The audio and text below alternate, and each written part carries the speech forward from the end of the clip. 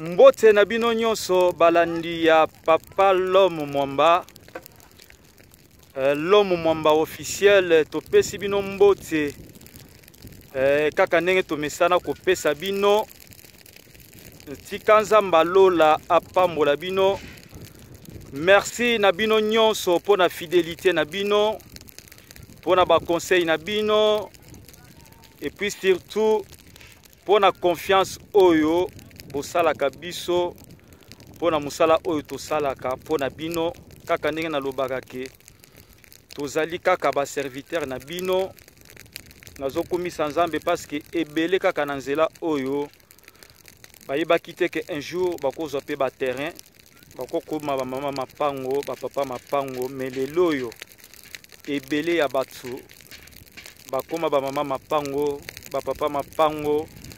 mosusu kutu bareveni ekoma bakombo na bango bakatikati bamama eli eh, bamama lili aveni lili lili aveni katikati ave ah, boza ebele nzambe apambola bino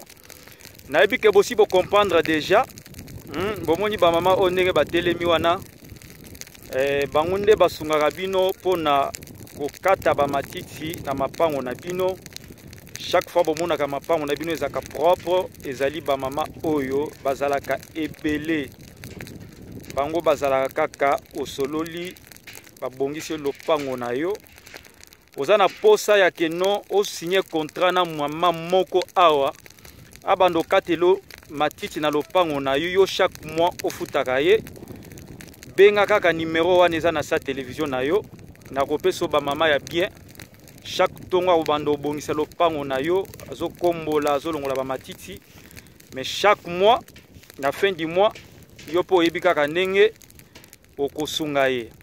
awa natelemi pamba te eh, natelemi awa nsima ya di maison bozomona di maison yango wana di maison ezali di parcelle batonga bandako lolenge moko ezali bandako ya mokonzi na biso moko boye oyo nakotanga nkombo awa te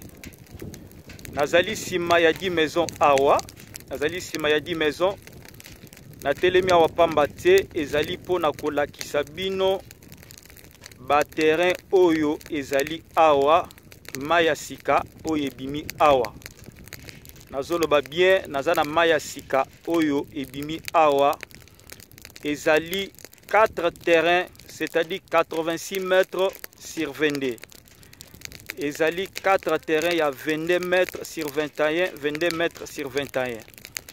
ezali bisika bamama oyo batelemi bozomona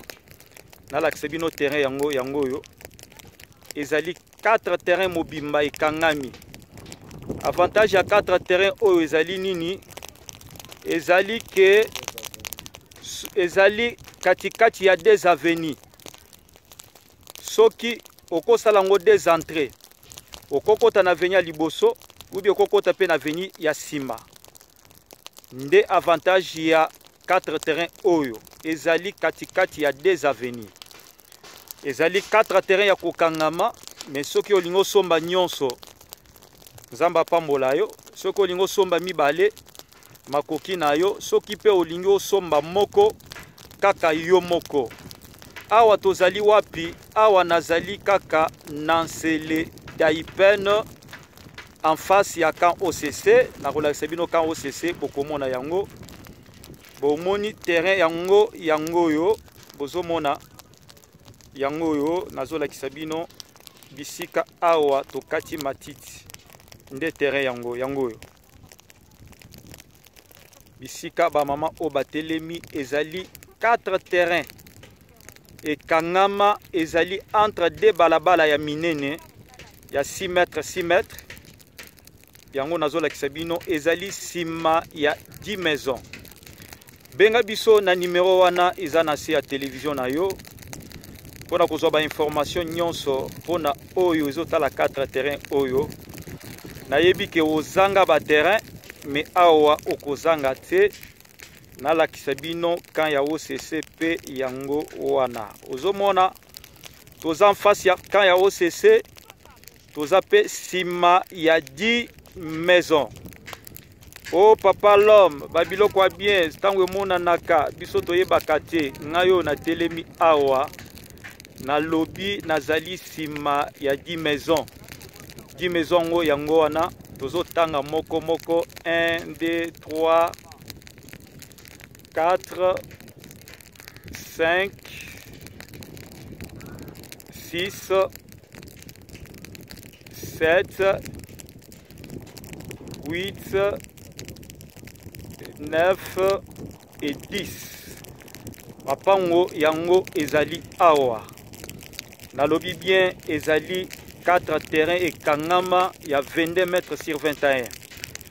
soki ozali interesse benga papa lome mwamba na numero oyo eza na sa televizio na yo